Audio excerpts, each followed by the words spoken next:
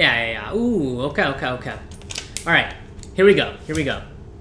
So first, first one. Ah, shit. Hold on. Ah, shit. Okay, hold on. You might need. Ah, you need you.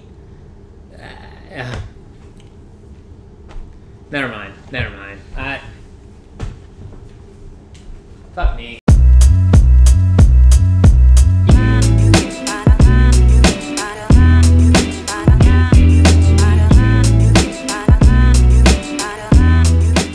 Boy, Kitchen Bins. It's your boy, Kitchen Bins back. We are gonna make seven waffle recipes, and I'm gonna show you why these are so good and why they're so versatile. Let me level set this. Why are we making these things? They are a fantastic alternative to parotas, white bread, wheat bread, sourdough, naan, wraps, anything. There's some of them are gonna be sweet, some of them are gonna be savory, you know?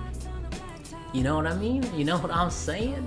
You know what I'm... The first waffle is literally two ingredients. It's egg and cheese, okay? It's not it's not flour, it's not a normal waffle. It literally looks like a waffle. It's like when you see a burger, right? Or let's call it a black bean burger, and you're like, "Oh, that must be meat." Nah, it's just shaped like a burger.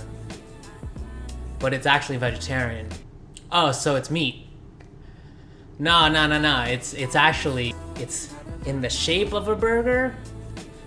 It doesn't have any meat in it. Oh, so it contains meat. That, that, that yeah, exactly, exactly. There are three three things that are a must for all of these recipes. Number one, a waffle maker can be a big one, a small one. Next, eggs. So this is where the variety in the type of waffle you make comes into play, all right? So let's say, for example, you want a really cheesy waffle. We got cheddar for a more cheesier waffle, all right? Make sense? Mozzarella, low moisture. This has a much milder taste to it, so this will be much more useful for some of these sweet waffles we'll, that we're gonna try. All right, we'll see. Let's see what fucking happens. This first waffle is gonna be egg and cheese waffle, all right? One egg, cheddar. If you like cheese, uh, make it a hefty scoop. This is what makes this so easy. Do you see any cooking spray around here? No. You don't need it. You don't need it. These things, whatever this material is, it just makes it so non-stick. If you're using a small one, this will make two waffles. If you do the big one, it's gonna make one.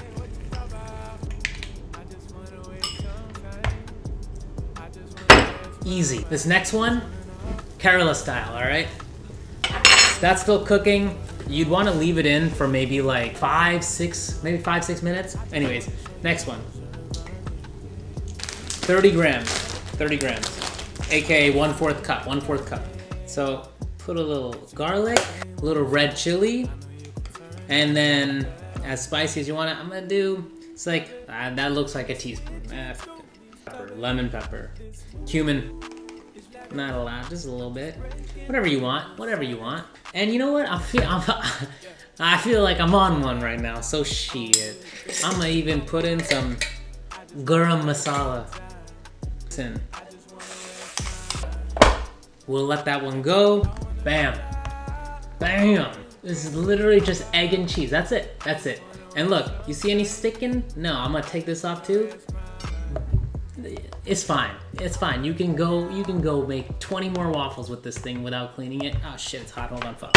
Remember this first waffle? We only used half of it, right, for this small one, and then we're gonna finish this one off. Now this takes practice, guys. The fir the first times I started making this, this shit overflew, overflowed like half the, literally like 90% of the time it would overflow. Take a look. This is done. Bam. Look, Kerala style. You can break it up. Now we got something to just eat. Mukka. What we're gonna do, take this, the first egg and cheese, pull this out, right? I got some, got some beef. What we got? Steak, egg, and cheese sandwich. Bam. I'll leave that there. Third waffle. This is gonna be tuna, egg, and cheese. All right, I know it sounds a little odd. Trust me, trust me, trust me. I usually eat these when I have to have, I gotta eat real, real quick, but I need a, something with a little bit more sustenance. Bam. One whole can of tuna. A little cumin, garlic, a little chili. Then we're gonna mix this up.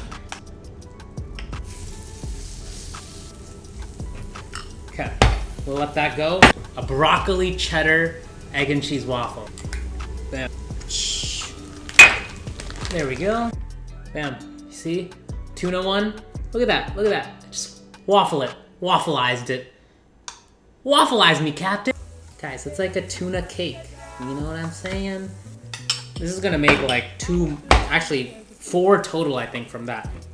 Back to number four. The broccoli cheddar waffle. We got the egg and cheese. We got some broccoli. All right, let's make it a little spicy.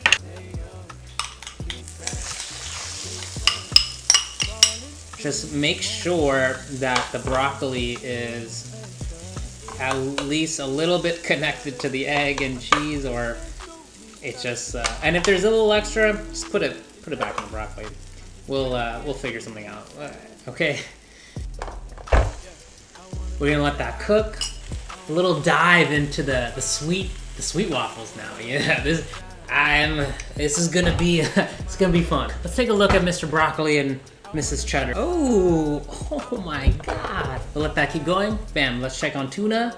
So usually the bottom definitely gets hotter than the top. So sometimes you can just literally flip it over, fit it into the groove. At Waffle number five, peanut butter waffle. This time, because we're moving to the sweet, if you use the cheddar, it's gonna taste a little cheesy. And if with the sweet, that's that's disgusting. This has a more milder taste. So for the sweet ones, go for this uh, low moisture part skim mozzarella cheese. All right, here we go.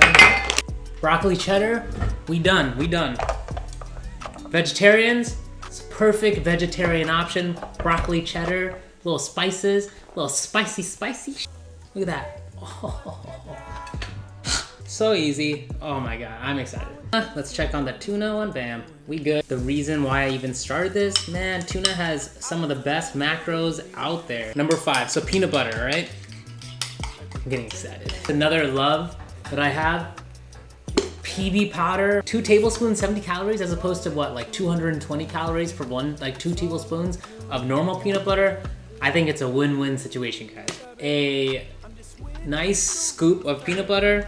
Eh, let's just let's just go all in on this peanut butter. You feel me? We'll do we'll do a little smaller of a scoop, but we're gonna do a little bit more peanut butter. Just want to make it super peanut buttery. So, hey, bam. Oof. Six. I'm gonna do a chocolate chip one. All right. And cheese. Um, these. Oh man, Uh, these ones, the sweet ones, I'd say taste a little bit better when they're cooked less than the cheddar cheese ones, all right? Peanut butter one, success. What we got next? What we got next? Oh, oh, the tuna one. Bam. Look, that is so far three tuna egg and cheese cakes. I think if this is gonna be the last one, or if not, we'll make it the last one.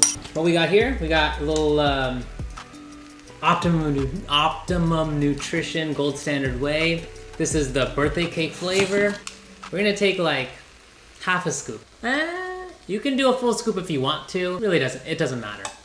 It doesn't matter. How much protein do you want in your waffle? Plus the egg and the cheese, it's already protein. It's a protein filled waffle. Get that into a little batter form. Next, Lily's dark chocolate baking chips are absolutely amazing. You know why? Let me tell you why. Around 60 chocolate chips. Look at this. Four grams of fat, three grams of, no dude. The carbs are eight, but you subtract the fiber, which is five, that's three. And then we got erythritol, that's two. It's literally one gram of net carbs. And we go, we got that one going. Number seven, triple chocolate protein waffle. Some double rich chocolate protein powder. You won't taste the cheese, okay? But trust me, you won't taste the cheese. Half to 75% of a scoop. Hershey's, ooh, special dark 100% cacao. One teaspoon of this, because this is a tablespoon, so this is not a teaspoon. Yeah. Bam. Look at that. Ooh. Chocolate chip, chocolate chip. Alright. Look at this. No mess, no mess. Next, back to our triple chocolate. We're gonna throw some Lily's. And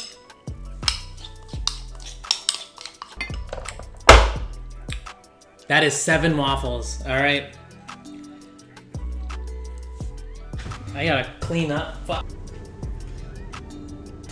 You could also, ooh, another, can make grilled cheeses out of this. Literally take the waffles, butter the sides, throw it on the stove top, put a che more cheese in it. It's endless. The chutney life one, right, bam, we'll do that. Uh, this will be for the Kerala style, because we want a hot. For the peanut butter one,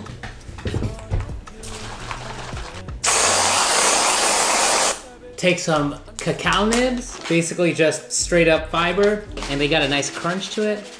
And take a little bit of this Walden Farms pancake syrup, not sponsored, zero calorie, tastes really good.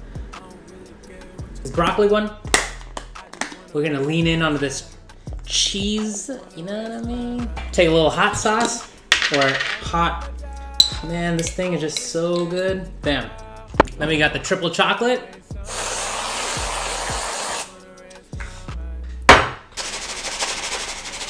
Walden Farms chocolate syrup. And last one, the chocolate chip. Fuck. Am I gonna eat this? Yes. Sweet ones are going last.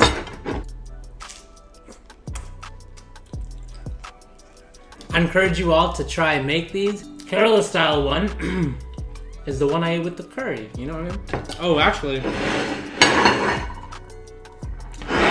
Let's get to this sandwich one. Oh man.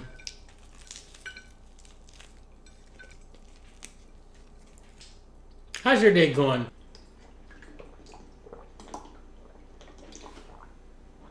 I want to try this broccoli one. Broccoli egg and cheddar. It's like an omelet, but in a waffle form, right? Look, you know what's awesome about waffles? You put a sauce in, it will sit in the pocket. Oh man, this is broccoli cheddar one. Amazing. This is nice. This is so far, so far, this is my favorite. Next, these tuna ones. Oh man, these are pretty, uh, pretty hefty. You could literally use this as buns as well, and it would just be a very packed. And then let's say you put in like chicken or steak or something in between so much protein in that sandwich. Uh, these I can save with that. I'm gonna just finish this egg one off. Next, we have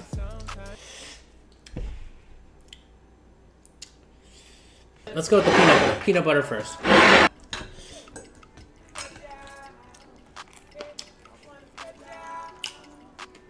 This two scoops of peanut butter.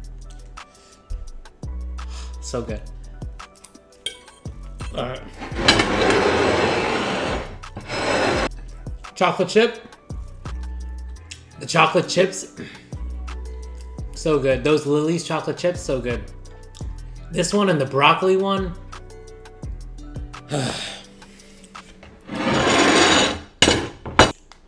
no knife and fork. It's, it's okay. With the sweet ones, they can get a little dry, which is why it's um, that's why it's okay if you actually undercook it because it's a little softer. Fluffy, makes it more fluffy, you know?